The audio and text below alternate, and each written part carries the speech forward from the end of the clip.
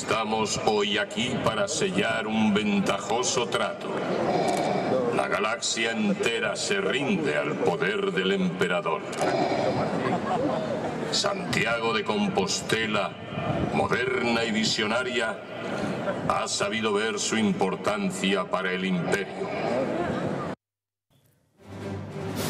Era el lado oscuro, el propio Darth Vader, que pronunciaba un discurso desde el balcón de Rashoy. Era el año 2013, una marea de Star Wars recorría las calles de la capital de Galicia. Se cumplían 30 años del estreno del episodio sexto, El retorno del Jedi, la última película de la llamada trilogía clásica de Star Wars.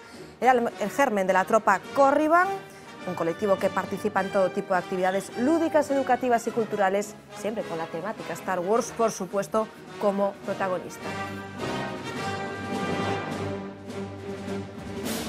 Los incondicionales de esta saga están que no caben en sí porque el viernes se estrena la última película, esa que firma la factoría Disney, esto es El despertar de la fuerza.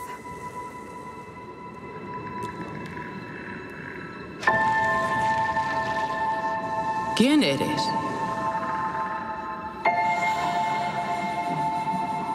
Nadie. Diez años después de la última película regresa la Guerra de las Galaxias y lo hace con la firma, como les decíamos, de Disney y la dirección de un director de moda, JJ Abrams. Treinta años después del retorno del Jedi, continúa esta trepidante historia, vuelven a escena Luke Skywalker, Han Solo y la princesa Leia. Han pasado tres décadas desde la caída del Imperio Galáctico, pero la galaxia se encuentra todavía en guerra. Este argumento de esta nueva peli es casi un secreto de Estado. La revolución entre los fans es de tal magnitud que en España se han vendido más de 120.000 entradas de forma anticipada. Lo que tú empezaste. Y no les mentí hace unos minutos cuando les decía que hoy teníamos cuatro invitados de excepción, porque hoy la fuerza nos acompaña. Los voy a presentar, porque aquí, más cerca de mí, vestido de naranja, seguro que los fans de la saga le conocen, eres uno de los pilotos, piloto rebelde. ¿Qué tal? Buenas noches. Hola, buenas noches. A su lado me da hasta miedo presentarle, es el lado oscuro de Darth Vader. ¿Qué tal? Muy buenas noches. Buenas noches. Detrás vemos que tenemos a un soldado imperial, seguro que le conocen, y detrás de nuestro piloto rebelde, Chihuahua, vas a pasar hoy muchísimo calor. Piloto rebelde, vamos a empezar. Cuéntanos, para los que no hayan visto nunca esta saga, que hasta me parece difícil de Star Wars, ¿quién eres tú? Bueno, yo soy uno de los pilotos rebeldes y mi función en este, con esta caracterización es eh, proteger a las fuerzas rebeldes del imperio. Eh, piloto una nave eh, denominada X-Wing, la cual tiene su papel fundamental en, la, en, la, en, alguna de las películas, fundamentalmente en La Nueva Esperanza. Claro, mm, ¿nos vas a desvelar algo de lo que viene ahora? Tú, no, tú lo no, sabrás. No, no, no mejor para nada. Es mejor, eh, nos gusta, eh, y además nosotros lo estamos haciendo así, eh, conocer lo menos posible de la nueva película. Mm. Queremos sorprendernos. Incluso vosotros mismos. Exactamente, queremos Mm. sorprendernos, queremos que nos guste, queremos que nos llame la atención. Sí. Queremos sorprendernos con, con cada uno de los personajes y, y ver un poco cómo encaja eh, Lucas, eh, eh, las- la nueva película, eh, eh, han encajado en, en las trilogías anteriores. Claro. Eh, Dart, ¿qué te parece a ti esto? A mí me parece bien. Sí. Tienes una voz muy finita hoy. no, solamente cuando actúo es cuando la cambio un Ah, vale, perfecto. Bueno, yo te voy a tener respeto hoy. Estos, estos cuatro personajes, cuatro protagonistas, eh, les conocen perfectamente, ellos son cuatro gallegos, les vamos a pedir ya que se eh, saquen, que se bajen de su personaje, porque este piloto rebelde, que nos hablaba como él mismo, se llama Alejandro Sanchón, hola de nuevo. Hola. Y Darth Vader se va a sacar la máscara, aunque es tan bonita, porque él es eh, John López. ¿Qué tal? Detrás lo voy a presentar porque la trooper es una chica que se llama María Fernández y Chihuahua, que yo estoy impresionada, es mi favorito, es muy joven. ¿Cómo? ¿Cómo habla Chihuahua? Él es Jacobo Sanchón. Bueno, John, primero, eh, vosotros sois eh, de estos incondicionales de Star Wars en Galicia, que supongo que lo sabéis absolutamente todos. ¿Qué es la tropa Corriban donde vosotros estáis integrados? Bueno, básicamente somos una asociación ¿Eh? donde somos todos fans y, y amigos que nos dedicamos simplemente a, a seguir eh, un poco toda la senda de Star Wars. ¿Que no es con poca? y con ella hacemos pues, todo tipo de eventos.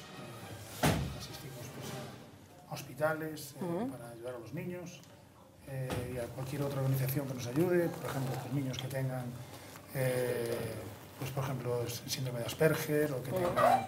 Se eh, quedarán impresionadísimos, ¿no? sí, sí, es, es, es impresionante. Alejandro, perdona, Alejandro, eh, tu amor por esta historia, por esta saga galáctica, ¿cuándo empieza? Pues empieza desde el principio. Sí. Eh, yo he visto la película cuando era pequeño. Fue una de las pocas películas que he ido a ver con mi padre. A mi padre no le gustaba mucho el cine, Sí. pero ese día lo arrastramos al cine. Eh, tuvimos la, la- bueno, pues el privilegio de ver la película prácticamente en el estreno en Vigo, en, la- Sí. en- en el, en el antiguo eh, Cine Fraga. Ujú, que ya en, aquel momento, ya había colas. Sí, sí, Estamos colas, hablando eh, del 77, ¿no? El año 77, finales del año 77.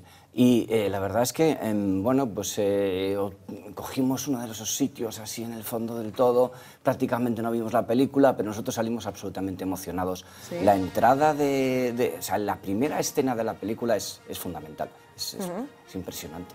El despertar de la fuerza, casi no se sabe nada del argumento. Como vosotros que andáis en grupos, ya sabéis alguna pista más. Engancha con ese final eh, del retorno del Jedi, ¿no?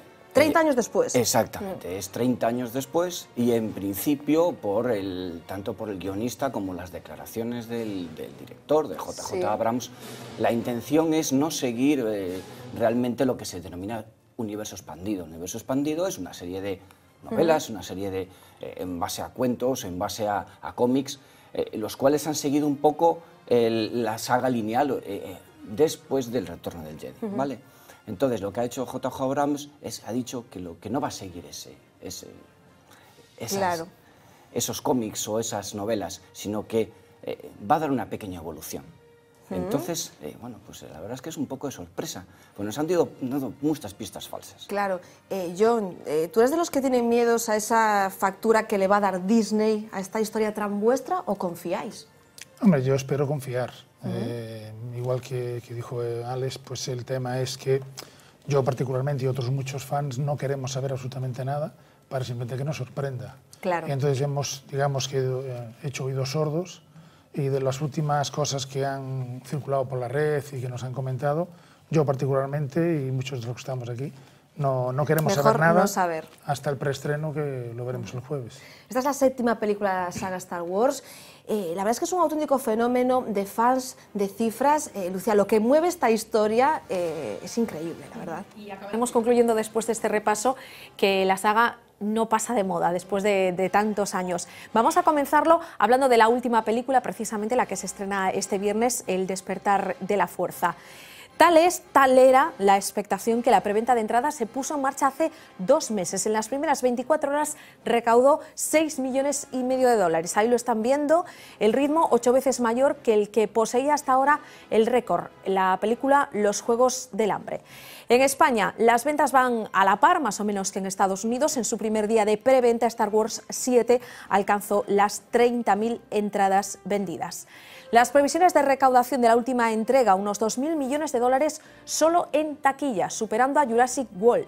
En España esa cifra alcanzaría entre 33 y 37 millones. Hasta ahora, de todas las emitidas, la película con más éxito en taquilla de toda la saga ha sido el episodio 1, La amenaza fantasma, más de 900 millones, ocupa el puesto 14 de las películas más taquilleras de toda la historia. Y puntualizamos lo de en taquilla porque la recaudación de toda la franquicia Star Wars es mucho mayor. Hay que sumar libros, videojuegos, juguetes, televisión, licencias, etcétera, etcétera. En total la cifra supera los 12.000 millones. 4.000 millones fueron los que pagó en su día Disney por hacerse con la productora Lucasfilm. Y siete Oscar lleva cosechado el fenómeno Star Wars. En la primera entrega, mejor dirección de arte, vestuario, montaje, banda sonora, efectos visuales y sonido. Hay que tener en cuenta que allá por los años 70 pues resultaban sorprendentes las grandes innovaciones tecnológicas que introducía. Y al episodio 5, el Imperio Contraataca conseguiría otra estatuilla más por el mejor sonido. La frase que la fuerza te acompañe se sitúa en el puesto 8 de las 100 mejores frases de la historia del cine. Podríamos decir que Star Wars inventó lo que hoy día conocemos como merchandising asociado al mundo del cine. Solo un dato, en la Navidad de 1978, es decir, solo un año después del estreno del episodio 4, se vendieron 40 millones de muñecos. Camisetas, pósters, pijamas, tazas, mochilas, hasta un especial de Navidad en televisión, además de libros, cómics o videojuegos. 133 han salido ya. Atracciones en parques temáticos, electrodomésticos que nos invitan a desayunar con Darth Vader, la versión del clásico Monopoly, una figura de Yoda que habla y se mueve, versiones de control remoto del halcón milenario, ahora en forma de dron o un caza X-Wing, vehículos Micro Machine, una ballesta como la de Chewbacca, sables láser, sets de Lego y sin duda la estrella actual BB-8, el nuevo androide de la saga.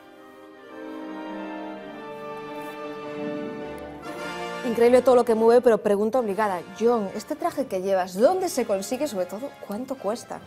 Bueno, Mucho, supongo. eh, cuesta bastante, eh, se consigue en Estados Unidos eh, y entonces pues eh, realmente hay trajes que sí que podemos hacer, Sí. pero este en concreto y el de, el de Chewie también, pues esos hay que comprarlos y Moverse cuestan, por internet, ¿no?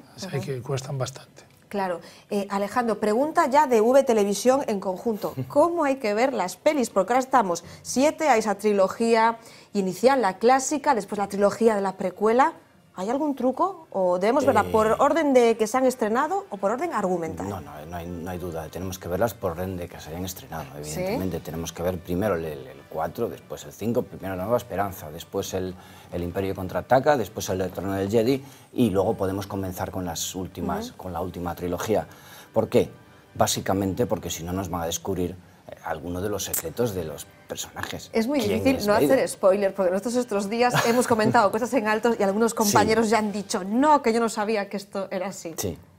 Chicos, entiendo que muy emocionados para el viernes. ¿Tenéis con vuestra muchas- entrada ya, John? Por supuesto. ¿Desde Ya hace desde hace dos meses. Madre mía. ¿En cuánto salió? Pues ya ven, la afición a Star Wars, eh, ese amor por esta saga galáctica es así en Galicia. Chicos, que la disfrutéis mucho. Despedimos por orden a John, que es nuestro Darth Vader, eh, a Alejandro, que es el piloto rebelde, Jacobo, que es Chihuahua, despídete, Chihuahua, y a nuestra chica, esa trooper, que es María, no les vamos a ver hoy las caras. Gracias por haber estado aquí A vosotros. Gracias. y a los que lo vivan con tanta intensidad, seguro que son horas muy importantes para ellos. Se quedan ya con Vía V, empieza en punto a las 10 de la noche. Mucho que comentar sobre este día de actualidad y, por supuesto, de campaña, cinco días para las generales. Nosotros nos vemos mañana a las ocho y media, no nos falte.